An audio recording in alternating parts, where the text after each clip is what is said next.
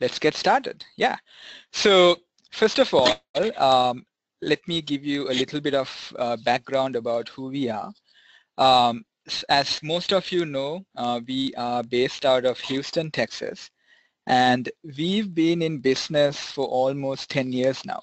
Um, and for, for most of our existence, uh, we were focused on the entertainment industry. And, um, you know, we make this device um, that helps organizations record TV. And, you know, TV shows and TV networks, you know, they have a huge use case or a need uh, for something like Snapstream. And today, you know, we've pretty much dominated that market. And if you turn on the TV, um, it's pretty much guaranteed that one of the shows that you'll be watching is one of our customers. So people like The Daily Show, Last Week Tonight, you know, NBC, CBS, HBO, um, all those guys use our product to record and repurpose TV for their shows. But, uh, so that's great, right? But about two years ago, uh, we noticed that, uh, you know, there is a good use case for something like Snapstream in the sports market. We saw that a lot of teams were using TiVos and other consumer devices, uh, consumer DVRs, to record games, and that that's that's not a very efficient process. And we knew that Snapstream could really help streamline those workflows. And in the last, um, you know, 18 to 24 months, uh, we've made great progress, and we have a really good list of customers from you know NFL teams, NHL teams, MLS, um, as well as you know some really really well-known Division One uh, sports teams. So essentially, Snapstream is a um, you know powerful DVR, right? So you connect your TV source into the back of the Snapstream server, and then you know, the Snapstream server connects to your network and everyone on the network will have access to the to that DVR. So it's like a networked attached DVR. Um, you don't have to go to the DVR to get a recording. You can access it from your workstation. And apart from the powerful recording features, um, we also have a ton of other cool features built in. And in terms of how sports teams um, and video coordinators like you use the product, there are a few you know, very, very uh, clear-cut use cases. Um, competitive analysis, you know, you need, you want a way to record your games and your upcoming opponent's games um, and analyze that. Um, media monitoring is another use case, uh, meaning, you know, you want to uh, track what's being said about your team, your coach, your star quarterback, whoever. And, and also there's a new use case that's gaining ground, which is uh, the social use case. Um, teams want a way to engage their fans on social, and the best way to do that is with video content. Um, and this video content you can't pre-produce, right? It's live, it's happening at the moment. So um, Snapstream helps teams to, to grab these really cool moments from your games and then push them live to Twitter and Facebook um, and, and keep your fans engaged. So I'm going to um, quickly go over um, this PowerPoint. The really cool part is in the demo that Brian will be doing. Uh, Brian handles uh, or, or, works with all our sports customers. Some of you on the webinar may have already uh, spoken with Brian. Um, I'm pretty sure you know you guys have met us at CSVA um, and and some of the other shows we are that we normally go to. We'll be at CSVA um, in a couple of weeks as well. So if you want to uh, actually come to the booth and take a look at uh, what we do, you know, you are more than welcome to do that as well. But um, going back to the PowerPoint really quickly, you know, Snapstream essentially replaces, you know, all these different um, recording solutions like DVRs, VS, VCRs, and VHS tapes. Um, it allows you to record a lot of TV channels at the same time um, from a very easy to use program guide from your workstation. Um, and there's a really nifty um, program manager built in that handles um, you know, conflicts, um, so you don't have to like really worry about all that. And once it's recorded, everything is searchable, meaning, you know, you can actually do a search for your team or your coach and Snapstream will find all the places where those keywords were mentioned. So if you have, um, you know, if you have, if you want to do a search for your coach um, and then tell him all the places where he was mentioned, you know, it's easy as doing a Google search.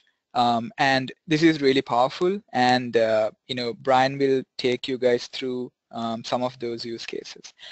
And once you've found what you're looking for, you can create clips from your workstation directly. Um, you don't have to like download the video and then you know open up a separate video editor to, to do that. We have clipping tools built in. Um, so it's really easy to create these clips and then you can share them internally or you can directly post them to, to social media. Um, and finally, you know, we also have what's called email alerts. Essentially, they are like Google alerts, but for TV. So you can actually set up an alert for um, your athletics director or your program name. And then every time that keyword, that word or name is mentioned on any of the channels you are recording, you know, you can get an email. You can set it up so that you you'll get notified immediately.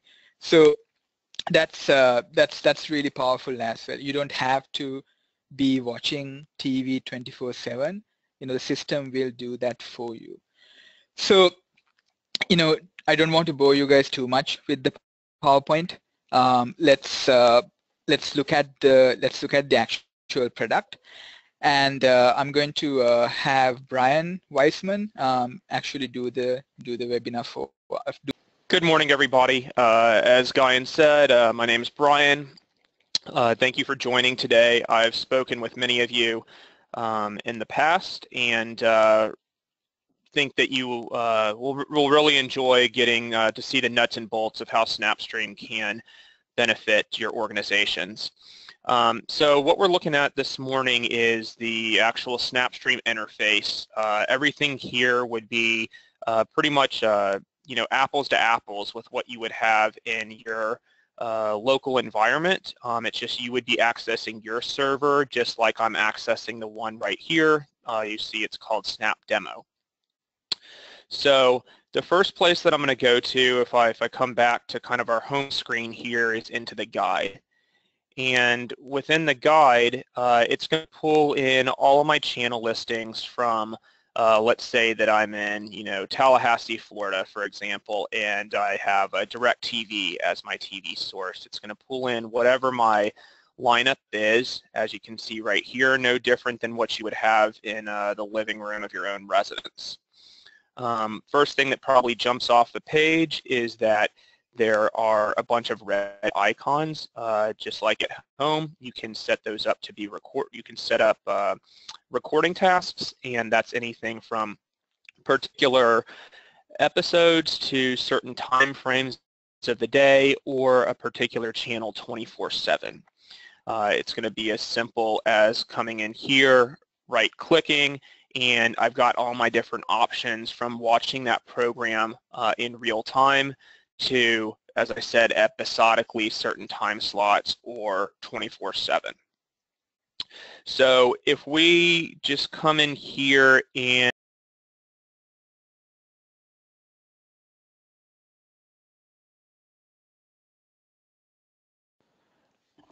Okay, sorry about that. Uh, I just realized that the screen had frozen, so what I was trying to describe in terms of uh, watching content in real time, you weren't actually seeing that. So now you can see uh, I'm on NFL Network, this program is airing, and I have uh, scrubbing tools on, on the, uh, on the bottom and right side of the video content.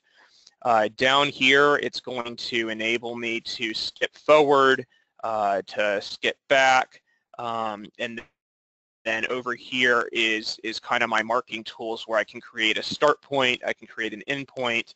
I've got my uh, social features over here, and, and we'll get to all that in just a second. Um, but the point being that you can uh, you can implement this as a program is airing or after it's recorded. Either one, it works uh, just the same. So if I go back over to the guide, everything that's been uh, set to record is then going to live over in the library. Think think of this as a digital archive that you're building up from scratch. And uh, so as you can see, we've got hundreds and thousands of hours of uh, different content that sits over here in the library. Um, and this is where the search uh, functionality, the, the power of SnapStream in terms of really getting to those needle in the haystack moments is going to come into play. So I've got a couple of examples that I'm going to use this morning. The first one is I'm going to type in uh, a search for Myles Garrett, who's, uh, you know, as, as you probably know, one of the top uh, draft picks coming out of Texas A&M. Um, he's, he's being discussed in terms of his workouts, just assessments, etc. Pretty generic search. If I go ahead and, uh, and type that in and then look for my results, just like I would do in Google, so happens that I get about 522 results. Um, so I can click into uh, you know, any of the pro programs, and it's going to take me to, uh, with about five to seven seconds of lead-in time to exactly what it is that I'm looking for. So it's coming back uh, from uh, commercial here on ESPN, and um, here it is. Here's where uh, Myles Garrett is mentioned, and it's using, as you can see over here, the associated closed captioning. So if I just pause this for a second, you can see that it picked up Myles Garrett out of, you know, everything that's being discussed in this show. And you also see that there are six different points in this particular program where the search that I did uh, can be extracted.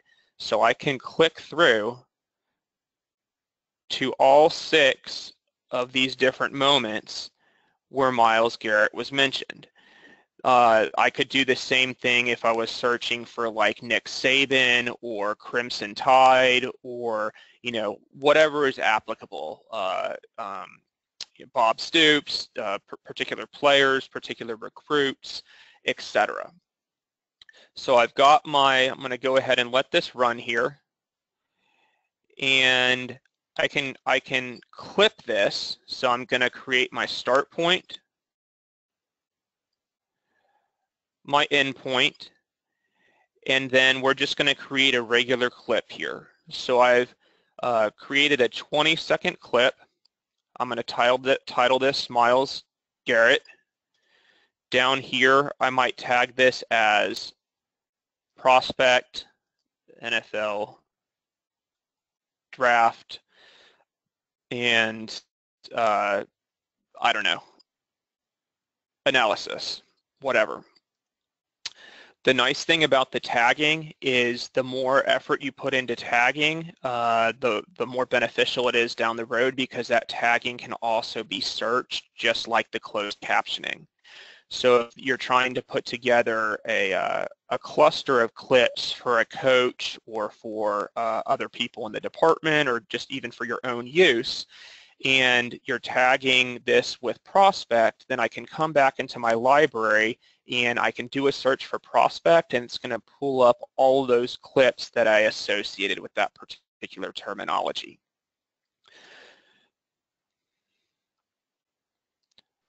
So Brian, uh, this is Gayan. So uh, we have we have a couple of questions.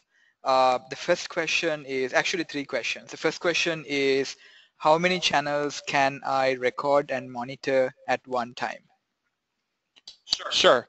Um, hold that thought for just a second. Let me let me just finish uh, this real clip, uh, uh, real quick uh, clip example, and then and then we'll get to that question momentarily. Um, so I can clip this, uh, and then if I clip it, it's going to go ahead and uh, run a workflow in the bottom right of my screen. And then if I come back to the library, you can see on the left-hand side here, your clips, this is where I'm going to be, be able to access all of that content. Um, I can download that clip. It will include the closed captioning associated with that particular segment as well. and I can repurpose it in a number of manners. Now, as far as uh, as far as the number of channels and uh, you know how much you can record simultaneously, etc., that really comes down to um, it's answered in a couple of ways, but uh, one way in which I want to answer it is actually going to our website because uh, I'm big on visuals, and so I want to show a diagram here um, that I think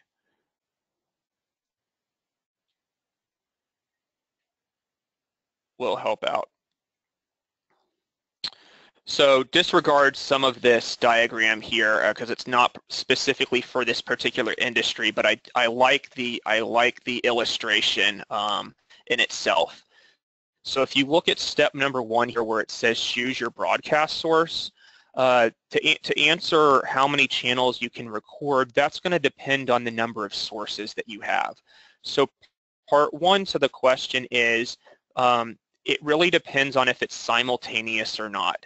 The number of simultaneous recordings that you make depends on the number of, let's just say, set-top boxes that you have. So in this illustration, if you have uh, four set-top boxes or four different TV sources, um, then you can be recording up to four channels at a time. If you have one or two set-top boxes, you can be recording up to you know, one or two particular channels at a time.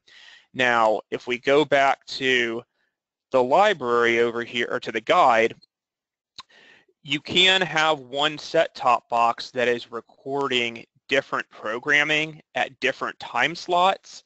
It just can only be dedicated to one particular task at a time. So I hope that maybe clarifies that question. What else do we have going? Yeah, so uh, so two questions. Um, the first question is, I think, related to what you just explained, and that's, uh, can the Snapstream box change channels on set-top boxes? Um, I guess what what uh, the question is about is, you know, can you program the DVR so that it changes the channels on the set-top boxes? You do, you don't have to be there to manually change channels. And the answer is yes. Um, so using your uh, using the program guide, which we're looking at right now, so let's just take uh, channel 212 and 213 as an example. During the 11 o'clock hour, if I'm concerned about recording the program on NFL Network, box number one can accomplish that recording task. If I don't care about it anymore at 12 o'clock, and I only care about MLB Network, then I can record that program from 12 to 1, and then I can move over from 1 to 2 to the program on NBA TV using that same box. Um, so you would facilitate it through our interface. Got it. Awesome. Cool. Uh, last question. so uh, I think uh, this is related with the search that you did previously. And uh, the question is, can you do the opposite in the search to clear content that doesn't have what you need. Example, you record multiple sports centers, but let's say none of them have anything you need. Uh, can you quickly delete all the content you don't need at once in a few steps, or uh, would the device fill up and run out of space?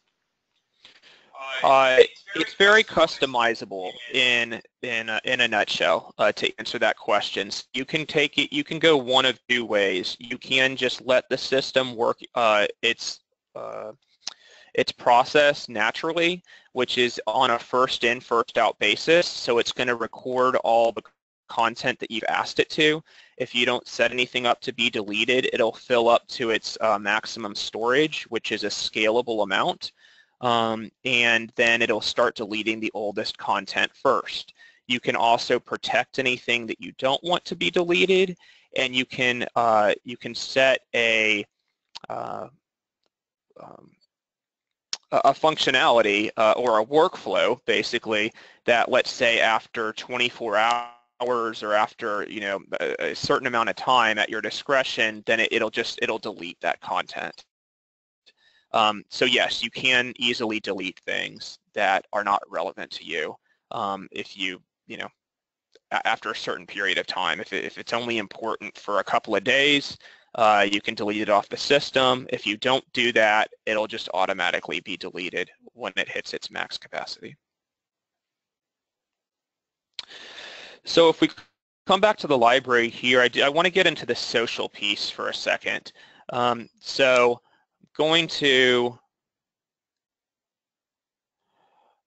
uh, come and do a search here for the term offsides. And so I'm, I'm kind of combining a couple different things here um, to, to show you at the same time. So this could very well be a use case, just pause the video for a second. This could very well be a use case where uh, you know, you're breaking down some game film um, or you're finding specific plays or specific penalties or whatever. Uh, so I type in the word offsides. I come into this uh, this game footage of Michigan at Iowa. And as you can see right here, just like I did with my Myles Garrett search, it's going to drop me into where it sees offsides because the referee is about to announce a penalty on number 13. Um, you see all that information in the closed captioning.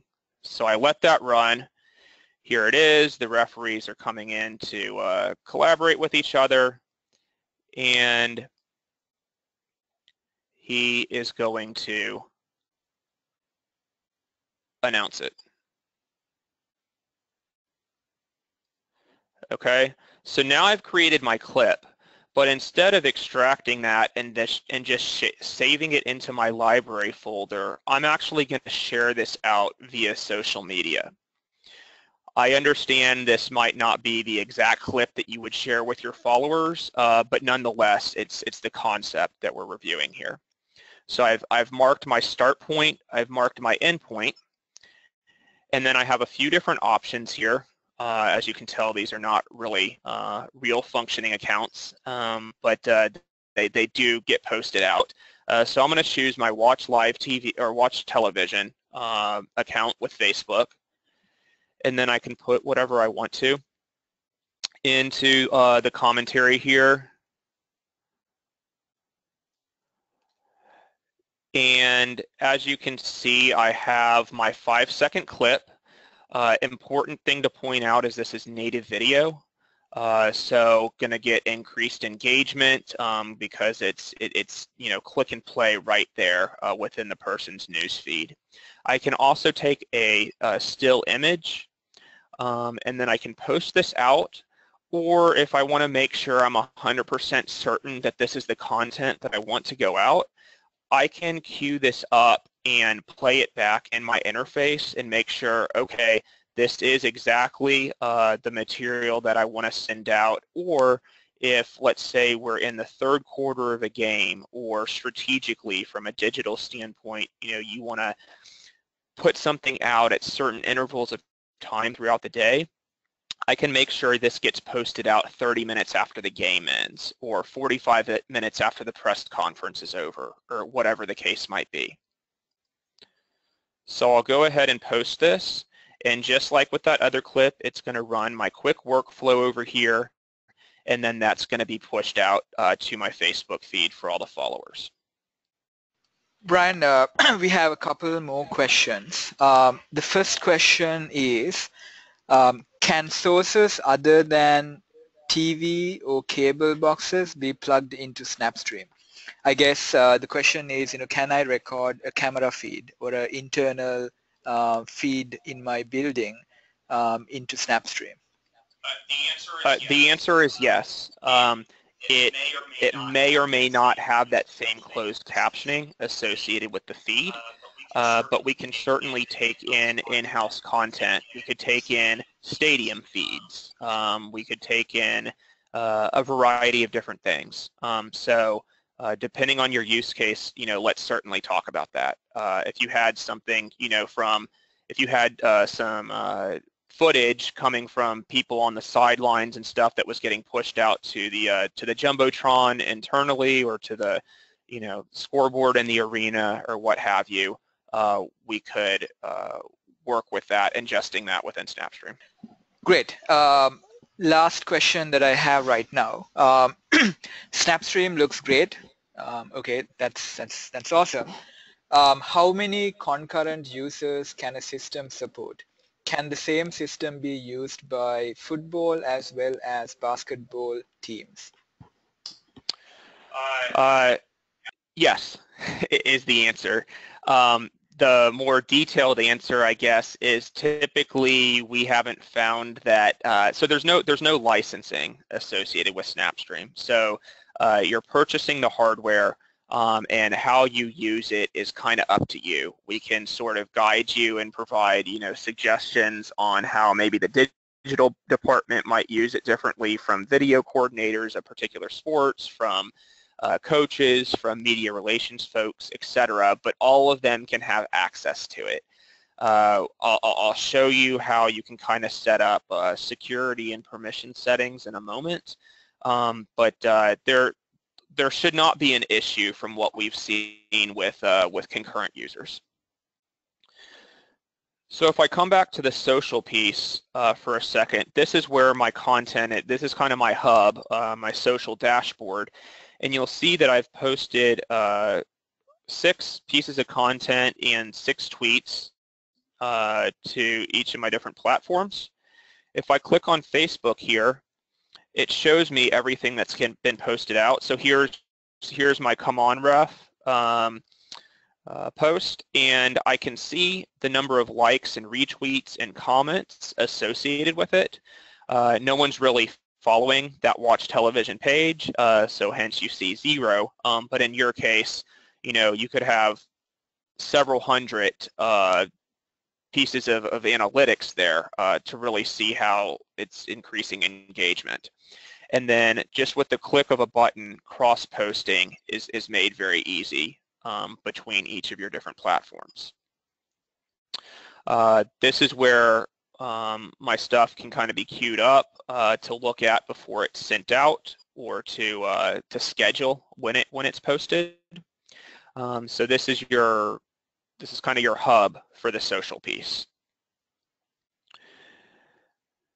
If we come over to the admin section, uh, this last tab on the bottom left, this is where you would configure your external accounts and give permission uh, to, to link those platforms with your SnapStream interface. Uh, a couple other things that I want to point out in the admin section. Uh, I mentioned security before. We have integration with Active Directory, uh, Novell, um, a lot of a lot of uh, programs find that very useful. You can also just set up uh, your, you know, your permissions configuration from scratch as well. So I've got my LDAP credentials for uh, someone in the organization right here. And then you notice all these subgroups that are set up. So this could be my, you know, uh, social media interns. These could be my live TV viewers, uh, a number of different things. And if we look at administrators, that that individual or individuals might have the highest level of accessibility to the system. So as you can see of the like two to three dozen different functionalities, pretty much all of it is turned on. Um, but if I don't want to give that group access to post stuff on Facebook, you know, I can easily uh, disable any of this that I want to.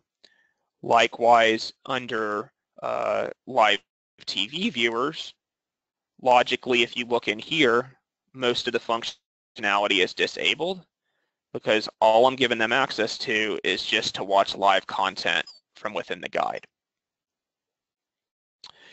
And then from a video standpoint, I also want to point out uh, workflows, which is exactly what it sounds like. Um, so you can customize any sort of workflows that you want to. Uh, this is one of the ways in which you can um, tell the system how long content should be stored for.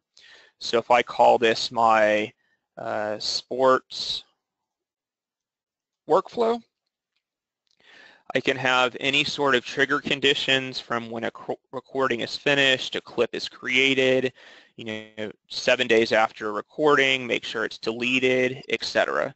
So let's say when a clip is created that I want to transcode that to uh, a WMV file um, and then I want to, you know, uh, also uh, export that item to a particular watch folder, etc. Um, there's an endless number of possibilities when it comes to setting this up to meet the um, workflow needs of, of how you're transferring content internally. Uh, Brian, we just got another question. Um, talking about exporting, how easy it is to how easy is it to download the clip from the library? Can I also download full recordings if I want to? Certainly. Uh, so if we go back to the library here, um,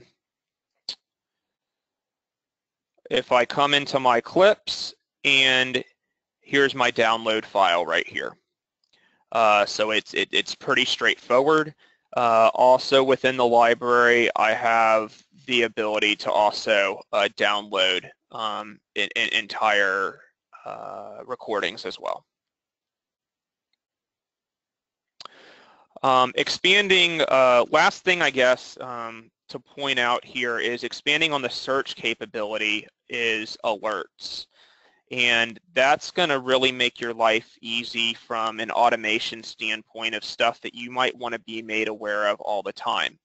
Uh, when I talk about, you know, cross-departmental usage, um, this this could be a very attractive piece for your uh, sports information directors and your individual sports, you know, uh, points of contact in terms of like media relations and such.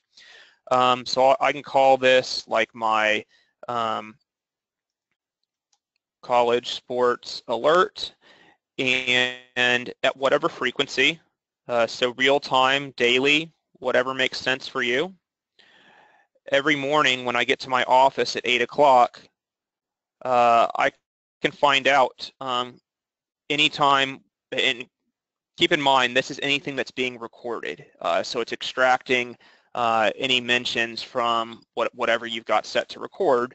Uh, but anytime the Big 12 is mentioned, um, anytime uh, the Final Four is mentioned, whatever the terminology might be, players, uh, coaches, whatever, the weather, it doesn't matter. It can get as specific uh, or as generic as you want to and you will get those results just like you see in the library, except they're going to be delivered to your inbox with uh, just those relevant mentions that you've asked for. Um, yeah, so uh, that that that's a benefit uh, as well. That's kind of like branches off of the search capability. I kind of refer to this as a pretty direct um, media monitoring functionality within the system. Great. Uh, so I have a, a, question to, to the attendees. Um, I'm going to launch um, a very quick poll. Um, you know, Brian went through pretty much all of the major features. Um, and I'm going to go back to Brian in a few seconds. But, you know, if you have something like Snapstream, um, how would you use it? So there's, there's a poll question on your screen now. If you could take a second um, to, to answer that, that will be really helpful for us. So I, I do see a couple more questions as well uh, that I want to address. Um, in regards to deleting content, so yeah, if you're deleting a recording, that's independent of a clip that you've made from that recording. Uh, so the, the clips would still live on the system, even if you deleted the recording itself. Um, And yes, alerts are only going to be for things that are recorded. So coming back to the guide, I would say it's really important to um, but let, let's say you have a box and sources that are capable of recording four things simultaneously. Use it if you have it available because the more you're recording, the more you're making, um, you know, Snapstream becomes a, a, a valuable tool for you. Uh, if it's not recorded, then you don't have it, uh, you don't have that, you know, vast uh, archive within uh, which you can search. Great, and uh, thanks everyone for answering the, the poll question. Um, I just um, have the answers on the screen. Seems like it's uh, it's mostly um, you guys are mostly interested in using this for media monitoring and also social, and uh, you know that pretty much aligns with uh, a lot of the feedback um, that we've received so far. Um, and and uh, and I think we have one more question, um, Brian. Uh, when a recording is deleted, does that also delete the clip that you have created from the recording?